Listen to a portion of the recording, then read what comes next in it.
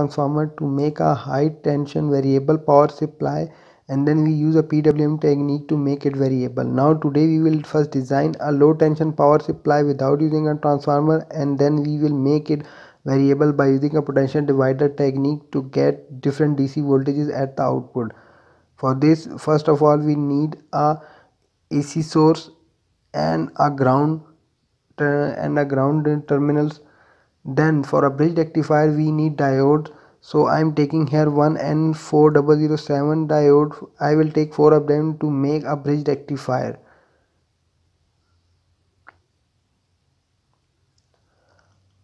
We also need a capacitor to make the, the output voltage of the bridge rectifier smooth because the voltage coming out at the output of the bridge rectifier may have some ripples. To remove these ripples we use a capacitor which make the output dc voltage smooth. Now we will connect all of the diode to make a bridge rectifier accordingly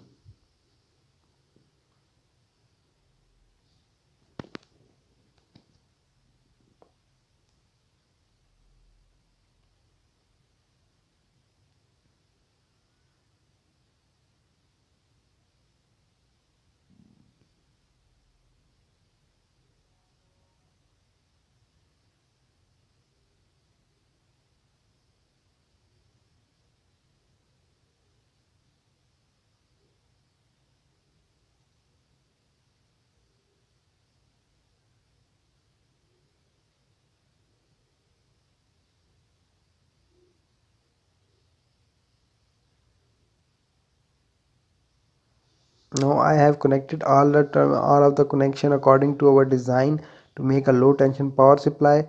Now we will take uh, take the output uh, after the capacitor. So I will place a probe at the output to check how much voltage is coming out. Now we will just simulate that circuit as you see if we apply 120 volt at the input then it will give us about 168 volt dc now i just changing the input value to 220 volt. Mm, then we will see. Now it give me about 310 volt. So it give me about 310 volt without using a transformer.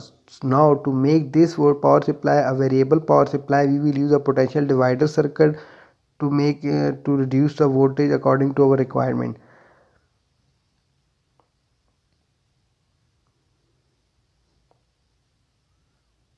and at the screen I am showing a potential divider circuit in which we use two resistance and a one DC source to check how much voltage is reduced according to this. I am taking two resistance I will take R1 of 1 mega ohm and R2 of 2 mega ohm. You can change the value of the resistance according to your required output voltage. If you want more reduced voltage then you can increase the resistance now if i apply 300 volt at the input and it, it it giving me 200 volt so it reduce the output voltage. So we will use this technique to make our low tension power supply a variable power supply.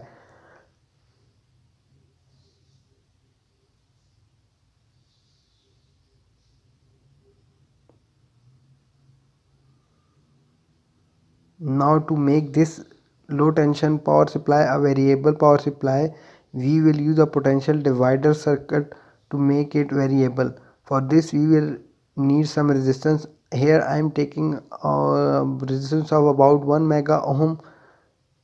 I'm and i will place them in the series of the output. I, I here i am taking more than one resistance to make to get different voltages at the output according to our requirement I, I, I have taken four resistance and I just connected them in series with the output voltage.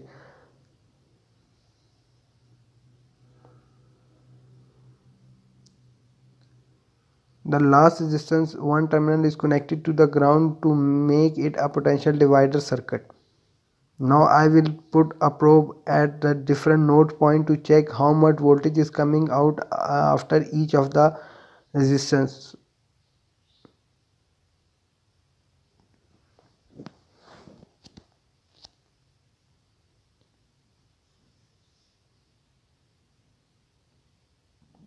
now we will simulate this. So as you see at the first and out after the capacitor it gave me 310 volt and after the first resistance it gave me 232 volt and after the second resistance it gave me 155 volt. And after the third resistance it gave me 77.5 volt. So as you can see now we can get different dc voltages from it according to our requirement. Now we will place this circuit on a variable to check whether it's working properly or not uh, with the different uh, resistors values.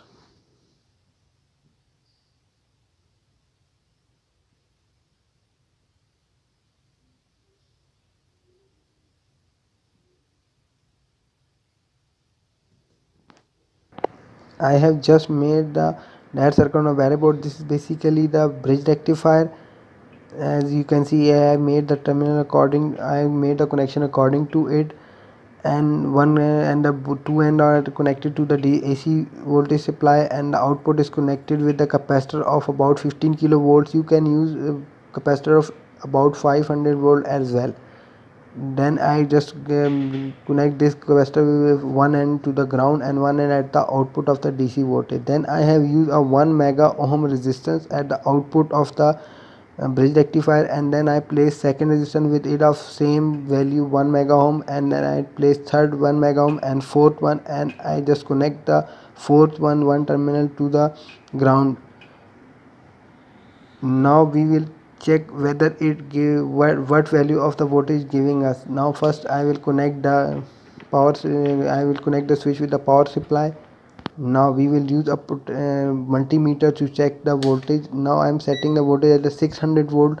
So it will give me uh, uh, the voltage in the range of 600 now first we will check the voltage at the output of the uh, bridge rectifier. As you can see it's giving about 214 volts at the output of the bridge rectifier. Then I we will check after the first session it's me about 181 and after the second resistance it gave me 156 and after the third resistance it giving me 136 uh, volt value. So with this you can now make a low tension variable power supply without using a transformer. So if you like this video please uh, click the like button and share it with your friend and subscribe our channel as well